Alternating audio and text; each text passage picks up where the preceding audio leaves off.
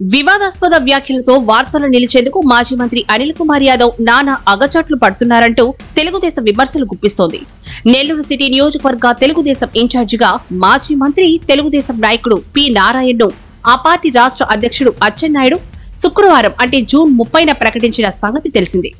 ఆయన నెల్లూరు సిటీ నియోజకవర్గంలో తెలుగుదేశం అభ్యర్థిగా రంగంలోకి దిగితే ఆ స్థానం నుంచి తనను తానే వైసీపీ అభ్యర్థిగా ప్రకటించుకున్న అనిల్ కుమార్ యాదవ్ సినిమా ఎత్తిపోయినట్లేనని నెల్లూరు వైసీపీ శ్రేణులే బాహాటంగా వ్యాఖ్యలు చేస్తున్నాయి. ఇప్పటికే పలు వివాదాలతో నిండి మునిగి ఉన్న అనిల్ కుమార్ యాదవ్ నియోజకవర్గంలో ప్రజాదరణ కోల్పోయారని సొంత పార్టీలోనే ఆయన పట్ల తీవ్రమైన అసంతృప్తి వెల్లువెత్తుతోందని వైసీపీ శ్రేణులే చెబుతున్నాయి.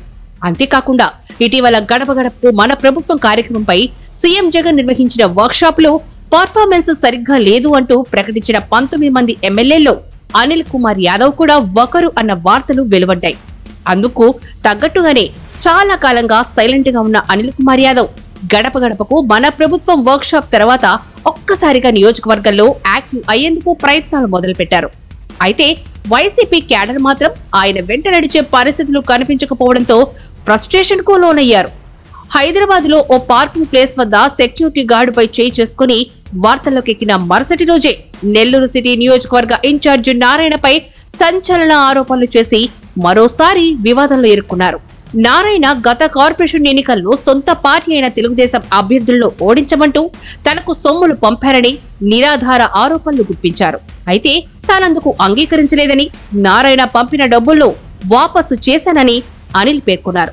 సందర్భం రావడంతో ఈ విషయాన్ని తాను ఎందుకు ఇంతవరకు బయటపెట్టలేదని అన్నారు. తాను ఆషామాషిగా ఈ ఆరోపణలు చేయలేదని వాటికి కట్టుబడి ఉన్నానని ప్రమాణం చేయడానికి కూడా సిద్ధమని అనిల్ కుమార్ యాదవ్ పేర్కొన్నారు. అంతేకాకుండా తెలుగుదేశం పార్టీలో జెండా మోసిన వారిని మోసం చేయడం అన్నది మామూలు విషయమేనని అనిల్ కుమార్ యాదవ్ పేర్కొన్నారు.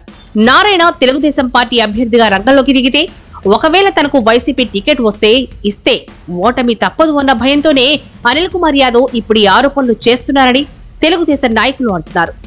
నారాయణపై అనిల్ కుమార్ యాదవ్ చేసిన ఆరోపణలు ఆయనలోని ఫ్రస్ట్రేషన్కు నిలువెత్తు నిదర్శనమని అంటున్నారు.